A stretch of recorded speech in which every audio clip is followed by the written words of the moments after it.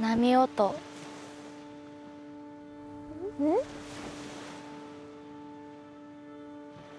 波音。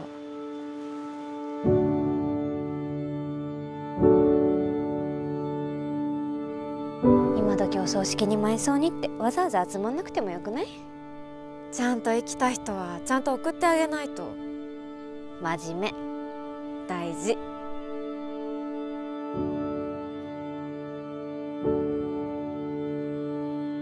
その人がその人であるための最小限のデータだけを載せて宇宙に逃げていつか体を再生できたらいいなっていう。現実逃避。今の時代家族のためって信じて死んでいけるのって幸せだと思いませんか？カノンお父さんは連れていけないよ。流れ星が雨のように降り注ぐんですよ。なんていうか音のない花火なんですよ探すんでしょ。もう見つからないよ。